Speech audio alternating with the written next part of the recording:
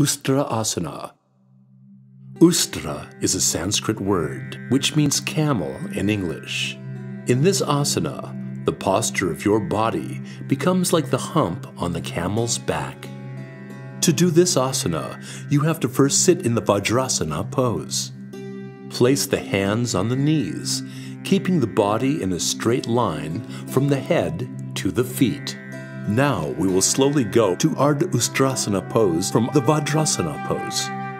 To do this, first slowly stand straight on your knees. Now, place both your hands on the hips with your fingers pointing to the ground.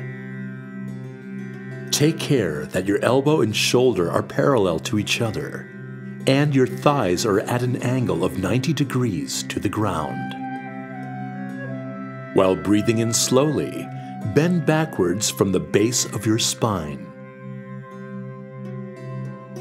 Bend the head backwards to the point till it stretches your neck muscles.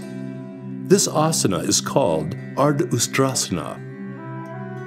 Now we will move from Ardha Ustrasana to Ustrasana, for which you will have to slowly exhale and catch your right heel with your right hand and your left heel with your left hand.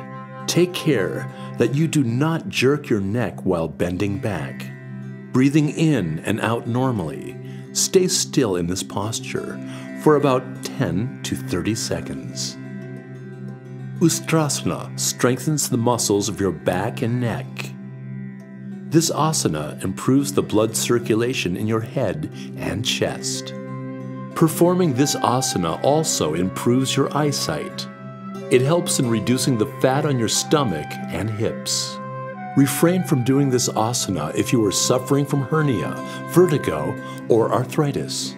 Patients suffering from heart diseases and high blood pressure should refrain from doing this asana.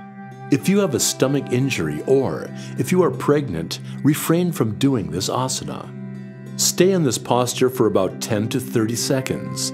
While taking a long, deep breath in, slowly lift your neck to the normal position.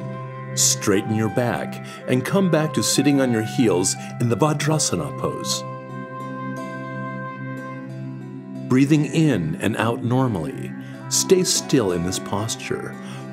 Practicing Ustrasana regularly will rid you of constipation, which is also responsible for many other ailments in your body, which in turn will help you to lead a healthier life.